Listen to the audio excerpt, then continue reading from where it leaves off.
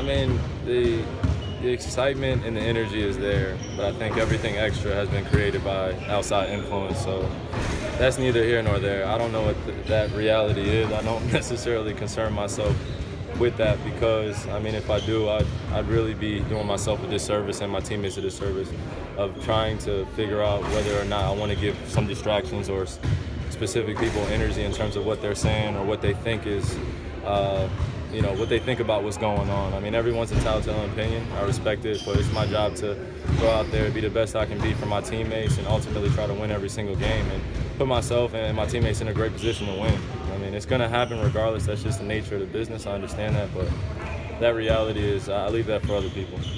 Come along. You set out some goals that you have. Uh, you know, as a team, uh, you know, we, we talk about those every single day as we prepare. Then uh, you know, you have goals that you want to hit individually that you want to maintain throughout the entire season. Um, and it's all within the realm of being beneficial for the team, ultimately raising the level uh, of our team play. I, just, uh, I guess I'm just ready to get going. Um, there's been a lot of things happen this summer, a lot of build-up.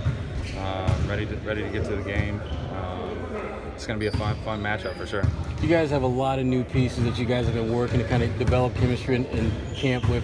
Where do you see you guys at in, in, along those lines?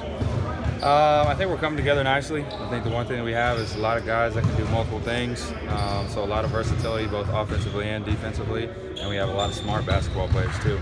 And uh, I think that's going to help us, especially early on, uh, because things probably aren't going to go as smoothly as we want them to. But if we compete, um, you know, we use our heads. We're, you know, we're smart out there. It'll, it'll, go a lot better for us. And for you, just trying to figure out what exactly this team needs from you, because in Utah, obviously your role was very different than it is here. Talk about just right. that process of finding what you can do to help these guys. Right. Um, I can do a lot of different things, and I think that's the beauty of, of a lot of the guys on the team. Um, you know, I think it'll be different each each night with uh, some of the different roles that we play. But for me, it's going to be competing on both ends of the floor. Uh, you know, trying to do whatever I can to help us win.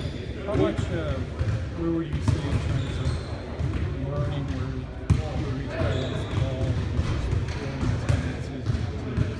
Yeah, I mean it's it's coming along. It's it's getting better each day. Um, just with practice, with being around the guys, you start to learn them. Um, and I think game by game, you'll see it get better. When you say you've got a lot of smart players on this team, what stands out to you in that sense? Uh, I just mean like defensively, knowing you know where to be, uh, knowing when to switch, uh, what basketball plays are about to happen, so you can be there and, and uh, anticipate a little bit better. Uh, that's kind of what I mean. I know past seven years in Utah, you enter every day wanting to win. But what's it like to play for a team that probably expects to win every night or thinks they can every night? yeah. Um, well, I think I think even last year, I go we, we went into games expecting to win. You go in with the game plan. You don't go in with a losing mentality. So that part's definitely no different. Um, you, you, feel like you have a game plan, and if you execute it, you have a chance to win. Um, so that, that, that will stay the same.